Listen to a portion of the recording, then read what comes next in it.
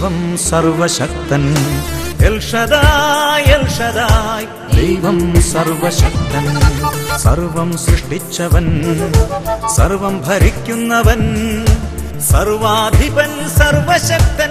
എൽഷദായ് എൽഷദായ്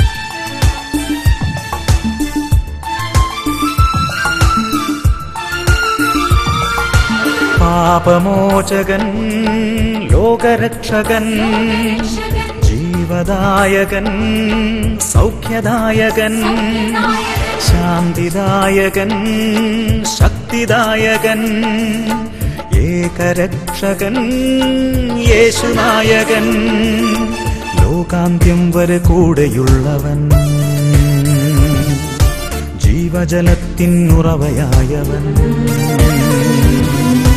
എൽഷദായ് സർവശക്തൻ. എൽഷദായ് ദൈവം സർവശക്തൻ. എൽഷദായ് സർവശക്തൻ. എൽഷദായ് ദൈവം സർവശക്തൻ. Shaddai. Praise the Lord Praise the Lord. Hallelujah Hallelujah. എല്ലാ പ്രേക്ഷകർക്കും രക്ഷിതാവും നാഥനുമായ ഈശോ മിശിഹായുടെ ധന്യനാമത്തിൽ കൃപയും സമാധാനവും ഹാലേ ലുയ Hallelujah. ഹാലേ ലുയ Hallelujah. പ്രിയപ്പെട്ട ദൈവമക്കളെ ഇന്ന് നാം ചിന്തിക്കുന്ന വിഷയമാണ് ജനത്തെ അനുഗ്രഹിക്കാൻ വേണ്ടി സ്ഥലം തിരഞ്ഞെടുക്കുന്ന ദൈവം. ദൈവത്തിന്റെ വലിയൊരു സ്നേഹമാണ്. ദൈവത്തിന്റെ ഒരു കാരുണ്യമോ ദൈവത്തിന്റെ ഹൃദയത്തിന്റെ വലിയൊരു അടിസ്ഥാന ആഗ്രഹമാണ് തന്റെ എല്ലാ മക്കളെയും അനുഗ്രഹിക്കണം. സങ്കീർത്തന പുസ്തകത്തിൽ മുപ്പത്തഞ്ചാം അധ്യായത്തിൽ ഇരുപത്തേഴാം തിരുലിഖിതം സങ്കീർത്തനം മുപ്പത്തി അഞ്ച് ഇരുപത്തേഴ് ബി. തന്റെ ദാസന്റെ ശ്രേയസിൽ സന്തോഷിക്കുന്ന കർത്താവ് വലിയവനെന്ന് അവർ നിരന്തരം പറയട്ടെ. നമ്മുടെ ശ്രേയസിൽ നമ്മുടെ ഉയർച്ചയിൽ നമ്മുടെ സൗഖ്യത്തിൽ നമ്മുടെ കുടുംബത്തിന്റെ സമാധാനത്തിൽ നമ്മുടെ ആത്മാവിന്റെ വിശുദ്ധിയിൽ സന്തോഷിക്കുന്നവനാണ് സ്വർഗത്തിലെ ദൈവം. നമുക്ക് വിശുദ്ധി തരാൻ അനുഗ്രഹം തരാൻ കൃപ തരാൻ നന്മകൾ തരാൻ അവിടുന്ന് അത്യധികമായി ആഗ്രഹിക്കുന്നു. ബലഹീനരായ മനുഷ്യരെ സംബന്ധിച്ച് ഈ ദൈവത്തെ അനുഭവിക്കാൻ വേണ്ടി ദൈവം ചിലപ്പോൾ ചില സ്ഥലങ്ങളെ തിരഞ്ഞെടുക്കും.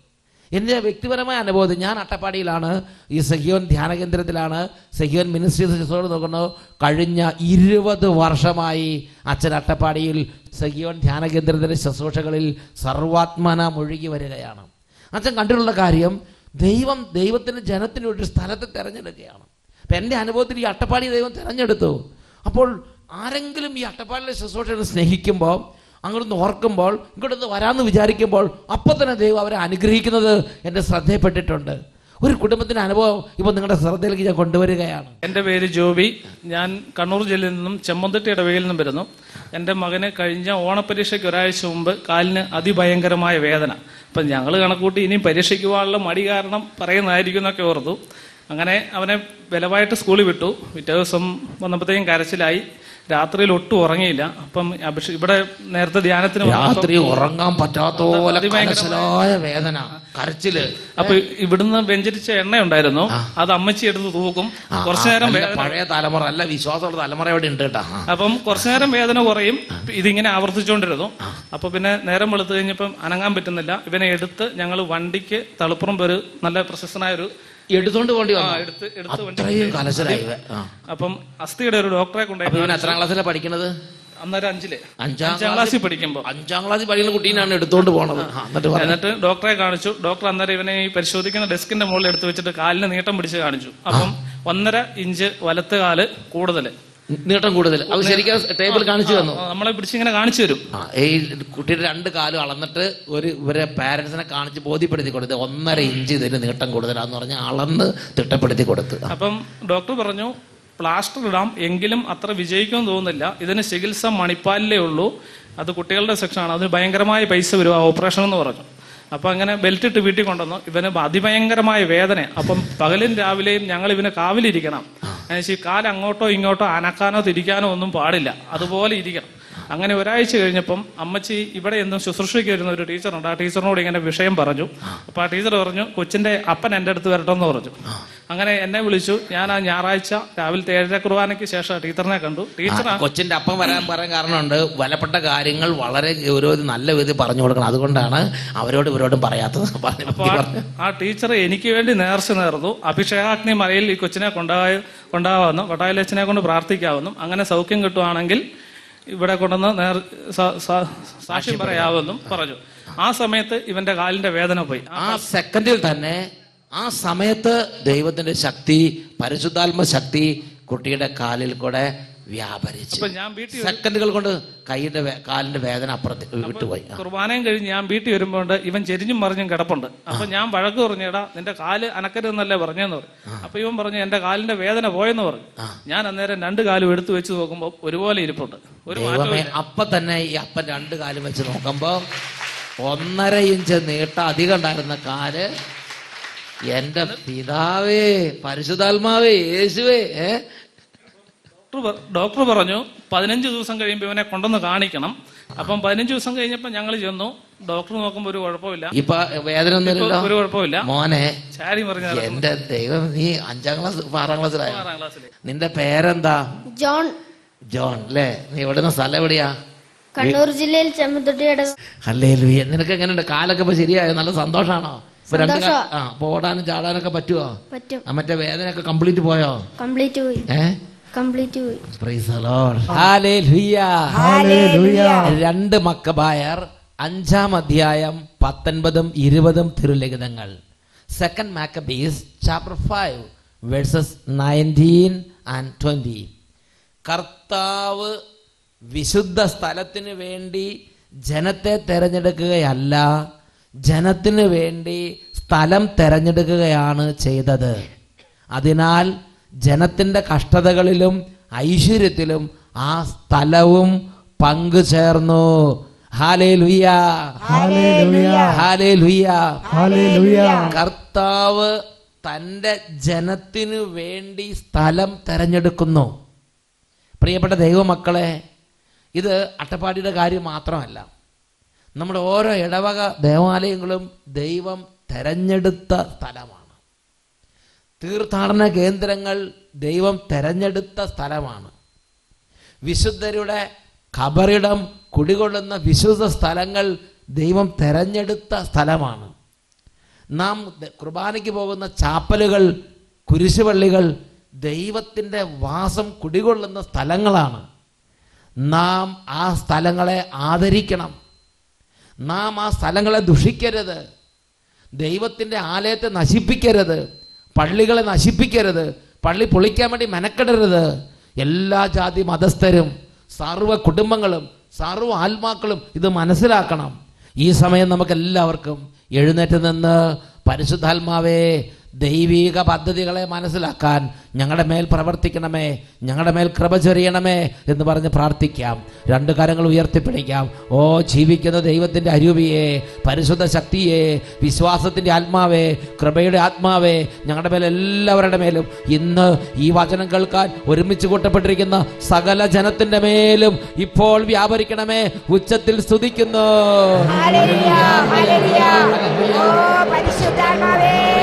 glory, glory, glory, glory, glory. Hallelujah, hallelujah, hallelujah. പരിശുദ്ധാത്മാവേ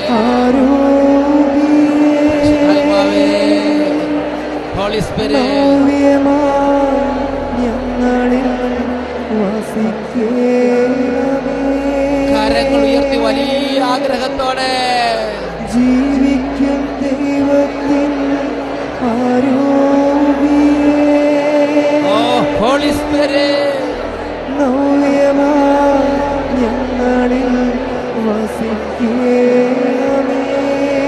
എന്റെ മേൽ ഇടപെടണമേ. ഉരുക്കി ഞങ്ങളെ വാർത്തെടുക്കൂ. പരിശുദ്ധാത്മാവേ. സ്നേഹം നിറച്ചു നീ ഉപയോഗിക്കൂ. വലിയ ദാഹത്തോടെ എന്നെ രൂപാന്തരപ്പെടുത്തണമേ.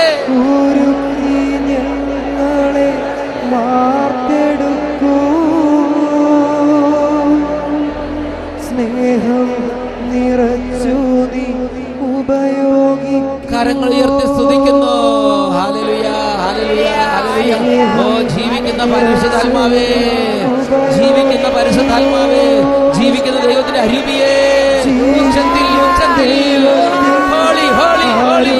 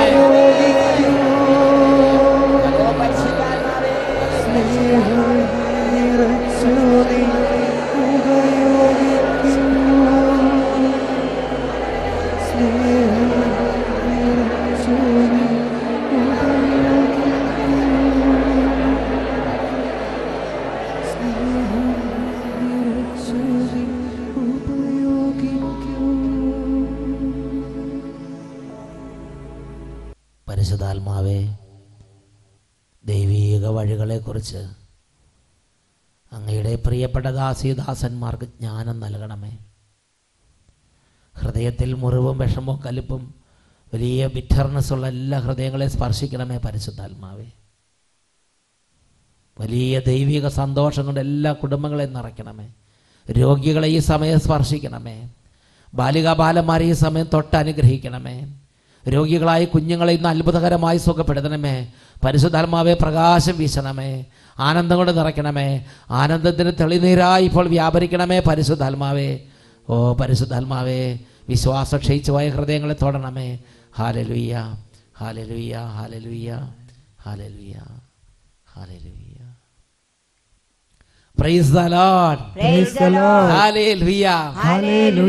പ്രിയപ്പെട്ട സഹോദരങ്ങളെ നമുക്കെല്ലാവർക്കും ഇരിക്കാം. ജനത്തെ അനുഗ്രഹിക്കാൻ വേണ്ടി സ്ഥലം തിരഞ്ഞെടുക്കുന്ന ദൈവം.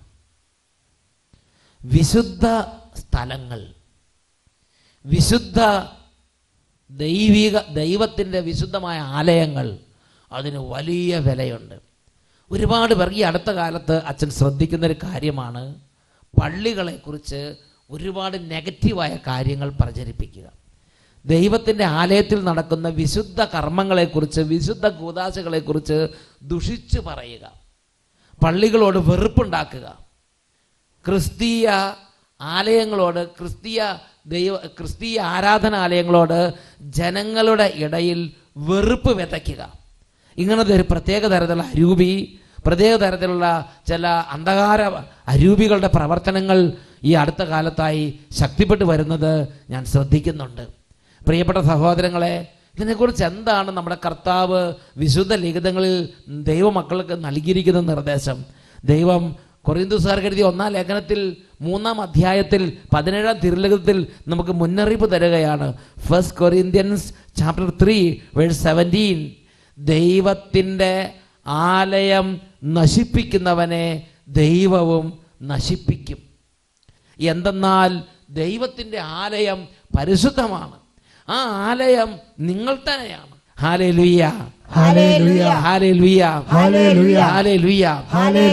ദൈവത്തിന്റെ ആലയം നശിപ്പിക്കുന്നവനെ ദൈവവും നശിപ്പിക്കും. ദൈവത്തിന്റെ ആലയം മൂന്ന് ആലയങ്ങളുണ്ട്. ഒന്ന് ദൈവത്തിന്റെ സഭ. രണ്ട് നമ്മുടെ ഈ ശരീരം. നമ്മുടെ ശരീരത്തിൽ ദൈവം വസിക്കുന്നുണ്ട്. ദൈവത്തിന്റെ സഭയിൽ ദൈവം വസിക്കുന്നുണ്ട്. അതുപോലെ തന്നെ പ്രധാനപ്പെട്ട ഒന്നാണ് നമുക്ക് കാണുന്ന നമുക്ക് കണ്ണുകൊണ്ട് കാണാവുന്ന ദൃശ്യങ്ങളായ പള്ളികൾ. പള്ളികൾ ദൈവത്തിന്റെ വാസസ്ഥാനങ്ങളാണ്. ദൈവത്തിന്റെ ആലയമാണ് പള്ളി. ഈ മൂന്ന് ആലയങ്ങളെക്കുറിച്ച് ഒരു മനുഷ്യൻ മനസ്സിലാക്കിയിരിക്കണം. വിശ്വാസികൾ മാത്രമല്ല സകലരും ഇതിനെക്കുറിച്ച് മനസ്സിലാക്കണമെന്ന് ദൈവം ആഗ്രഹിക്കുന്നുണ്ട്. ഇവിടെ ദൈവത്തിന്റെ ആലയം നശിപ്പിക്കുന്ന വിശ്വാസികളെ ദൈവം നശിപ്പിക്കുമെന്നല്ല പറഞ്ഞിരിക്കുന്നത്. If anyone destroys God's temple, God will destroy that person. Any, let it be anybody.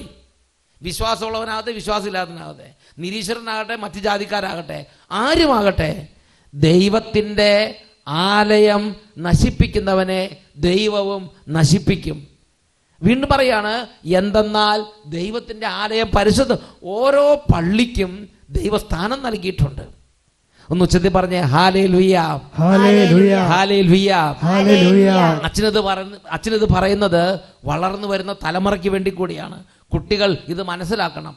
യുവതി യുവാക്കന്മാർ ഇത് മനസ്സിലാക്കണം. ഇത് കേട്ടുകൊണ്ടിരിക്കുന്ന എന്റെ പ്രിയപ്പെട്ട സകലരും ഇത് മനസ്സിലാക്കണം. ഇത് മനസ്സിലാക്കണമെന്ന് ദൈവം ആഗ്രഹിക്കുന്നുണ്ട്. പ്രിയപ്പെട്ട സഹോദരങ്ങളെ ദൈവം ഒരു സ്ഥലം തിരഞ്ഞെടുക്കുമ്പോൾ അത് ജനത്തെ അനുഗ്രഹിക്കാൻ വേണ്ടിയാണ്.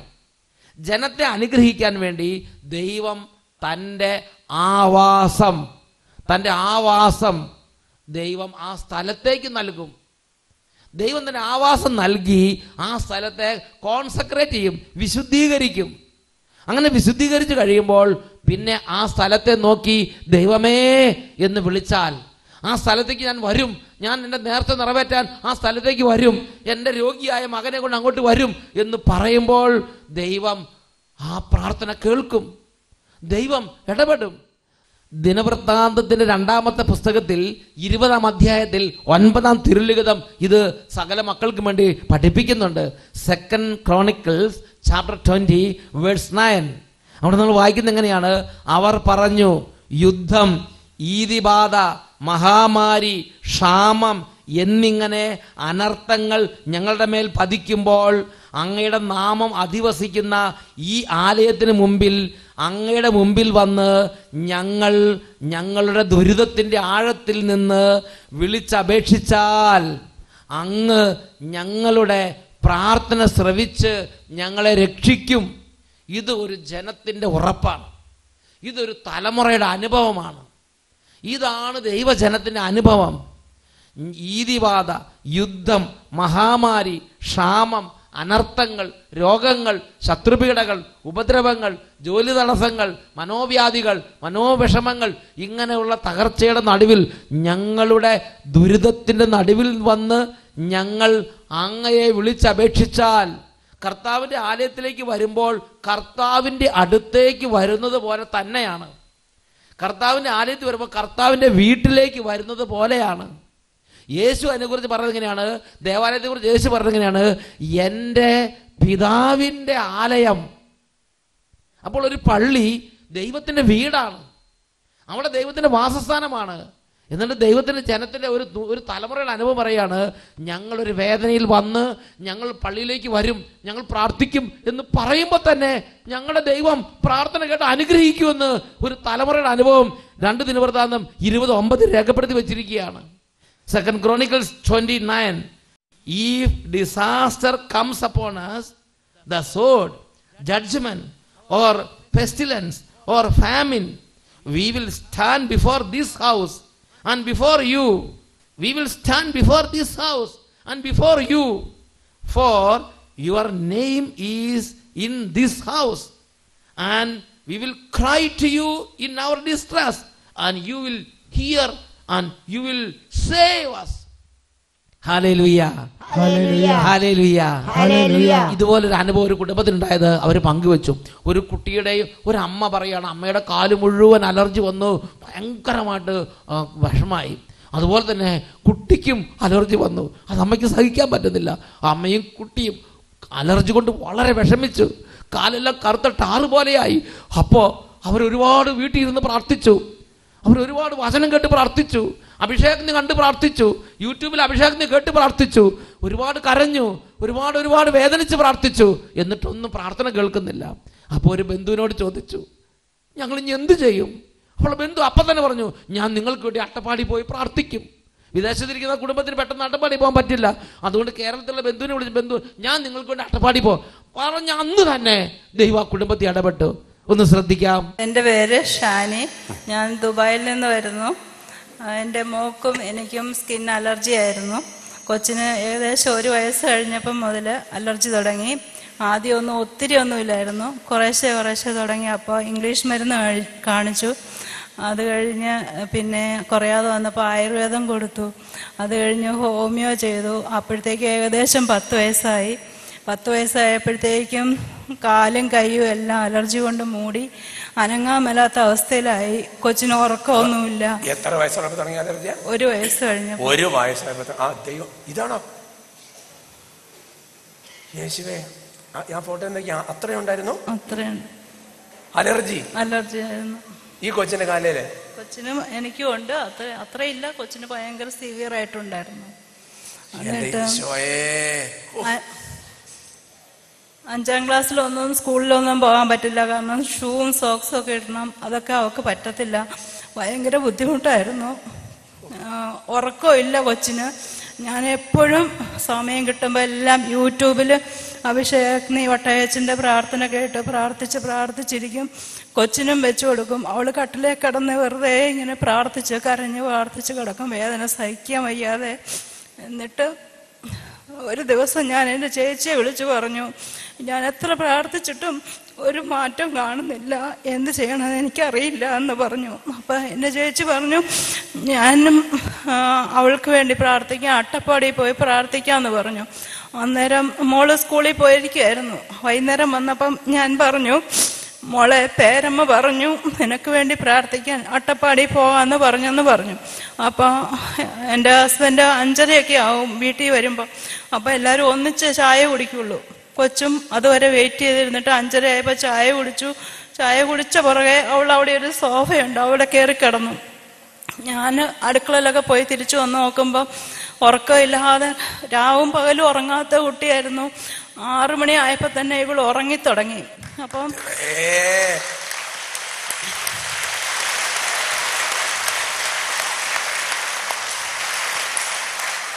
ഞാൻ ഒരു ഏഴുമണിയായപ്പം കുരിശ് വരയ്ക്കാൻ വേണ്ടി വിളിക്കാൻ തുടങ്ങിയപ്പം പറഞ്ഞു എന്തിനാ ഇത്ര നാൾ ഉറങ്ങാത്ത കുട്ടിയല്ലേ? ഉറങ്ങട്ടെ നീ ശല്യം ചെയ്യണ്ടെന്ന് പറഞ്ഞു. അത് കഴിഞ്ഞ് ഭക്ഷണം കഴിക്കാനും വിളിക്കാൻ നോക്കിയപ്പോഴും ഉറക്കുക അപ്പോഴത്തേക്ക് എടുത്തുകൊണ്ടേയും ബെഡ്റൂമിൽ കിടത്തിയിട്ട് അനക്കിയില്ല. അങ്ങനെ കിടന്നോട്ടേന്ന് വെച്ചു. പിറ്റേ ദിവസം ആറു മണിയായപ്പോ സ്കൂളിൽ പോകാൻ വേണ്ടിയിട്ട് ഞാൻ കുലുക്കി കുലുക്കി വിളിച്ച് എഴുന്നേൽപ്പിച്ച് സ്കൂളിൽ പോയി.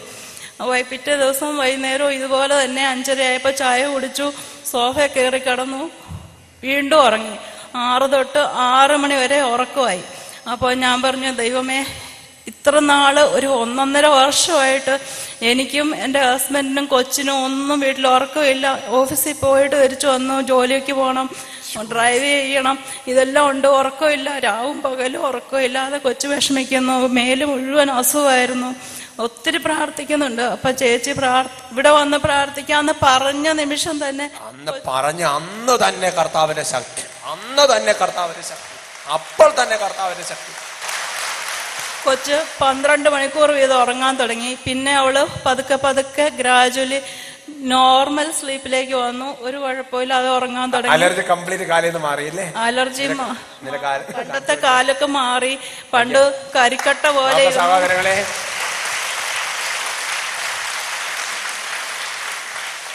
ആ നേരത്തെ കാലിന്റെ അവസ്ഥ നിങ്ങൾ നോക്ക്. ഇപ്പോഴാണെങ്കിൽ അത്ര ശല്യമൊന്നുമില്ല. നല്ല ആരെയും ഡിസ്റ്റർബ് ചെയ്യാതെ കിടന്ന് ഉറങ്ങുന്നുണ്ട് പണ്ടാണെങ്കിൽ ഞങ്ങളെ അല്ല ഒന്നാം ക്ലാസ് മുതൽ പത്താം ക്ലാസ് വരെ സ്ഥിതി അല്ലേ? അല്ല പത്ത് വയസ്സ് വരെ. പത്ത് വയസ്സ് വരെ. പക്ഷെ ഈ ഒന്നര കൊല്ലമായിട്ടാണ് ഇത്ര ഏറ്റവും സിവിയർ കൂടുതൽ സിവിയർ ആയിട്ട് വന്നിരിക്കുന്നത് അല്ലേ? ഉറങ്ങാൻ പറ്റില്ല അല്ലേ? ഉറക്കമില്ലായിരുന്നു വളരെ നിനക്ക് സന്തോഷമാണോ? നീ മൈക്കി കൂടെ ഒന്ന് പറ. നിന്നെ ഈശോ തൊട്ടല്ലേ നീ മൈക്കി കൂടെ പറ. നിനക്ക് സന്തോഷമാണോ? സന്തോഷായി. അല്ലേ? കംപ്ലീറ്റ് മാറിയില്ല ശരിക്കും കർത്താവിന്റെ ഒരു കൃപ അല്ലേ? നീ എന്നിട്ട് അന്ന് ആ ദിവസം സംഭവിച്ചല്ലോ നീ ഓർക്കുന്നുണ്ടോ? എന്താ പറഞ്ഞു? ചായ കുടിച്ച അതിന്റെ ആറു അമ്മ ഞാൻ കടന്നുറങ്ങി. അത് കഴിഞ്ഞിട്ട് രാവിലെ അമ്മ എന്നെ വിളിച്ചേൽപ്പിച്ച് സ്കൂളിൽ വിട്ടു. അങ്ങനെയാണ് അല്ലേ? അതിന് മുമ്പത്തെ സ്ഥിതി എന്താ? മുമ്പത്തെ സ്ഥിതി അപ്പൊ പറയും നേറ്റ് അല്ല ഏർലി പോയി കടന്നുറങ്ങിക്കോളാൻ പറയാം. അപ്പൊ ഞാൻ കട്ടിൽ ചുമ്മാ ഇങ്ങനെ എന്തെങ്കിലും ആലോചിച്ചാണ് വലി ചൊറിഞ്ഞുകൊണ്ട് കിടക്കും. ഫുൾ ടൈം ചൊറിഞ്ഞോണ്ടിരിക്കുകയാണ് അല്ലേ. അപ്പം അപ്പ വരുമ്പോ ലൈറ്റ് ഇട്ട് നോക്കുമ്പോ ഞാൻ ഇതുവരെ ഉറങ്ങിയിട്ടില്ല. അപ്പം അപ്പ ഇങ്ങനെ തൂത്തു തൂത്തു തൂത്തു അപ്പ ഉറങ്ങത്തില്ല ഞാനും ഉറങ്ങത്തില്ല. Full night. സീറോ ഒരു ലിറ്റ് ലൈറ്റ് ഉള്ള സമയത്ത് അത് ആ ലൈറ്റിലോട്ട് ഇങ്ങനെ നോക്കി നോക്കി കിടക്കും ഒട്ടും ഉറങ്ങില്ലായിരുന്നു. ഇല്ല. നോക്കിയാൽ നിങ്ങൾ ചിന്തി ഒരു ഒന്ന് നിങ്ങൾ ചിന്തിച്ചു നോക്കിയ സഹോദരങ്ങളെ. അപ്പന ശരിക്കും അങ്ങനെ കാലെല്ലാം തടവേ അപ്പൻ ഉറക്കമില്ല അമ്മയ്ക്ക് ഉറക്കില്ല അതിനും സ്ഥിതി. എന്നിട്ട് ചേച്ചിയുടെ ആരെവിടെ വന്നത് പറഞ്ഞു വായിക്കോ ചേച്ചിയുടെ? എന്റെ ഹസ്ബൻഡിന്റെ ചേട്ടന്റെ ഭാര്യ ഹസ്ബൻഡിന്റെ ചേട്ടന്റെ ഭാര്യ. അപ്പൊ മടുത്ത് എന്ത് ചെയ്യണം അപ്പൊ ചോദിച്ചു ചേച്ചി ഇനി എന്നാ ചെയ്യുന്നെന്ന് ചോദിച്ചു. അവ പറഞ്ഞു വിഷമിക്കേണ്ട ഞാനൊരു കാര്യം ചെയ്യാം. ഞാൻ ഇന്ന് അട്ടപ്പാടിയിൽ ഒന്ന് പോയി അപ്പൊ വലിയ വെള്ളിയാഴ്ച അങ്ങനെ ആറുന്നായിരിക്കും അല്ലെ? വലിയ വെള്ളിയാഴ്ച ഒരു വെള്ളിയാഴ്ച നീ വിഷമിക്കേണ്ട ഞാൻ ഇന്ന് അട്ടപ്പാടി പോയി പ്രാർത്ഥി അങ്ങനെ അട്ടപ്പാടിയെ പോയി ആ അമ്മച്ചു വന്ന് പ്രാർത്ഥിച്ച അന്ന് വൈകുന്നേരം മുതൽ ഉറങ്ങാൻ തുടങ്ങി അലർജി മാറി സന്തോഷത്തോടെ പരിസന്നാൽ രാ പകൽ വ്യത്യാസമായ കർത്താവ് അനുഗ്രഹിച്ചു. കർത്താവ് തെരഞ്ഞെടുത്ത ഒരു സ്ഥലത്തേക്ക് കൊണ്ടുവരാന്ന് പറഞ്ഞു ഞാൻ അങ്ങോട്ട് പോകാന്ന് പറഞ്ഞു. ആ ദിവസം ആ സമയത്ത് കർത്താവ് ഇടപെടുകയാണ് ഇത് ഇതൊരു സ്ഥലം അട്ടപ്പാടി ഒരു സ്ഥലം. ഇതുപോലെ ദൈവം ഓരോ സ്ഥലം തിരഞ്ഞെടുത്തിരിക്കുകയാണ്. തീർത്ഥാടന കേന്ദ്രങ്ങൾ ദേവാലയങ്ങൾ വിശുദ്ധ സ്ഥലങ്ങൾ അതുകൊണ്ട് വിശുദ്ധ സ്ഥലങ്ങളെ വെറുക്കരുത്. ദേവാലയങ്ങളോട് വെറുപ്പ് വിതച്ച് ദേവാലയങ്ങളോട് വെറുപ്പുണ്ടാക്കി ജനങ്ങളുടെ ഹൃദയത്തെ കലക്കരുത്. കത്തോലിക്കാ സഭയുടെ മതബോധന ഗ്രന്ഥം ആയിരത്തി ഒരുന്നൂറ്റി എൺപത് C C C one one eight zero അവിടെ വായിക്കുന്നത് ദൃശ്യങ്ങളായ ഈ ആലയങ്ങൾ കേവലം സമ്മേളന സ്ഥലങ്ങളല്ല. പിന്നെയോ മനുഷ്യരോടൊപ്പമുള്ള ദൈവത്തിന്റെ വാസസ്ഥാനമാണ്. ദൃശ്യങ്ങളായ ഈ ആലയങ്ങൾ കേവലം സമ്മേളന സ്ഥലങ്ങളല്ല. പിന്നെയോ മനുഷ്യരോടൊപ്പമുള്ള ദൈവത്തിന്റെ വാസസ്ഥാനമാണ്. ഓരോ പള്ളിയും ദൈവത്തിന്റെ വീടാണ്. അതാണ് യേശു പറഞ്ഞത് എന്റെ പിതാവിന്റെ ആലയം എന്റെ പിതാവിന്റെ വീട് എന്റെ പിതാവിന്റെ താമസ സ്ഥലം. എഴുന്നേറ്റ് നിൽക്കാം പരിശുദ്ധ കുർബാനയുടെ ആരാധന എഴുന്നള്ളിച്ച് പ്രാർത്ഥിക്കുന്ന ഈ സമയത്ത് ഇന്ന് വരെ ഏതെങ്കിലും പള്ളിയെ അപമാനിക്കുകയോ ഏതെങ്കിലും വിശ്വസ സ്ഥലത്തെക്കുറിച്ച് ദുഷിച്ച് പറയുകയോ ആർക്കെങ്കിലും ഇടർച്ച വരുത്തുകയോ ചെയ്തിട്ടുണ്ടെങ്കിൽ പ്രിയ ദൈവമക്കളെ ഇന്ന് നമുക്ക് ദൈവത്തോട് മാപ്പ് ചോദിക്കാം. ഈ സമയം ഈ സമയം തന്റെ വിശുദ്ധ സ്ഥലങ്ങളെ സമ്മാനിക്കുന്ന കർത്താവ് നിങ്ങളുടെ പ്രാർത്ഥനകൾ ഹൃദയവും കണ്ട് രോഗങ്ങളിൽ കണ്ണുനീരിൽ ഇടപെടും. അത്ഭുതങ്ങൾ സംഭവിക്കും. പരിശുദ്ധ ആരാധനയിലേക്ക് നമുക്ക് പ്രവേശിക്കാം.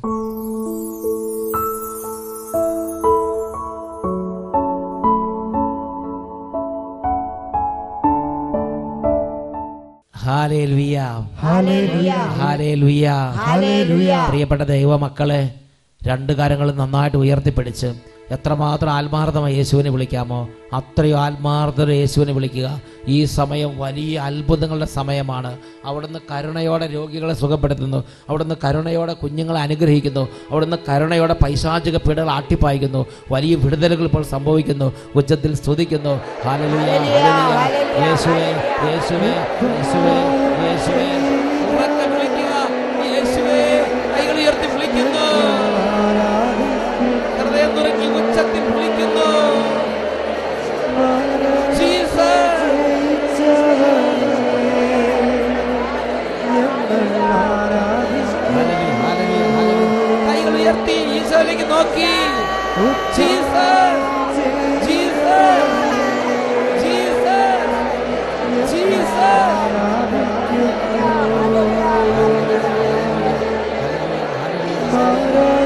benedicta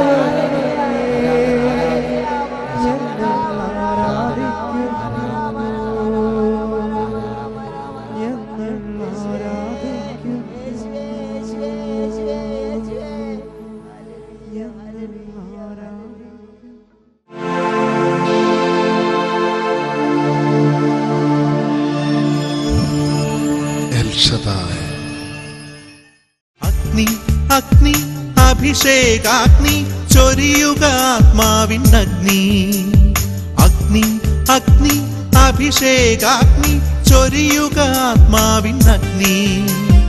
യേശുവിൽ വളരാൻ തിന്മയെ ജയിക്കാൻ നിറയ്ക്കുക അഭിഷേകാഗ്നി. യേശുവിൽ വളരാൻ തിന്മയെ ജയിക്കാൻ നിറയ്ക്കുക അഭിഷേകാഗ്നി.